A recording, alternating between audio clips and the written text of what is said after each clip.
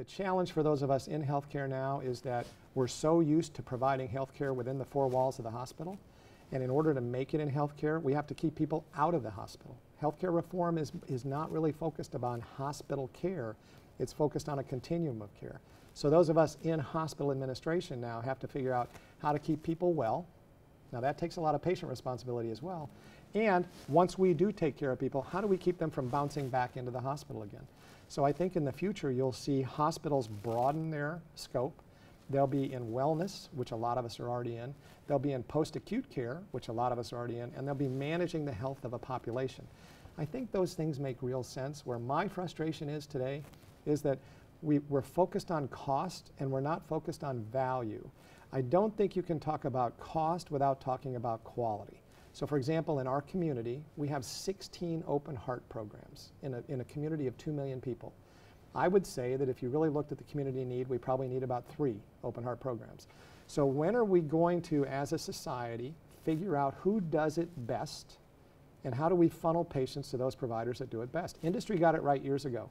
If you do it right the first time, it's less costly. Last year alone in our organization, the cost of taking care of patients that had no insurance was $52 million. That was the cost. That's an operating expense for our organization. So if, if we get more people insured, I think that makes sense to those of us in healthcare. The challenge right now is that Medicare reductions were to be partially offset by Medicaid expansion. And unfortunately, what happened was with the states now get to decide on their own whether they're going to expand Medicaid. I live in a state that is not expanding Medicaid. So not only do we have the Medicare cuts, we do not get a benefit of Medicaid expansion. So in our, in our world today, we're being told that we need to take 20 to 40% of our expense base out in order to make it in healthcare reform. For our organization, that's 200 to 400 million dollars a year that we would, we would attempt to take out, which is pretty mind-numbing, to be honest. I mean, I had a friend who was running a children's hospital, and we were talking about that, and I said, Ben, it's got, it's, it's so, it's got to be very, it, it, it, must be more rewarding to be in, in pediatric care than it is in adult care. And he said the issues are the same. So you've got a little one who's got a 2% chance of living. How many millions of dollars of care do you put into that 2% chance? And who are you to tell the parent no? Right. I mean, those are mind. I mean, how, how do you go to sleep at night trying to make that decision? I mean, I, I can't even imagine. I mean, I look at the, I, I mean, I, we've got kids in our hospital, we've got 95 year olds in our hospital, and, and you know, death is a hard thing for people. But at some point, we as, an, we as a country have to figure out what we're going to do with this. Because at this pace, whether it's 90% or 75% or whatever it is, it's a lot of money being spent to keep people alive for how long and for what value of life and what quality of life.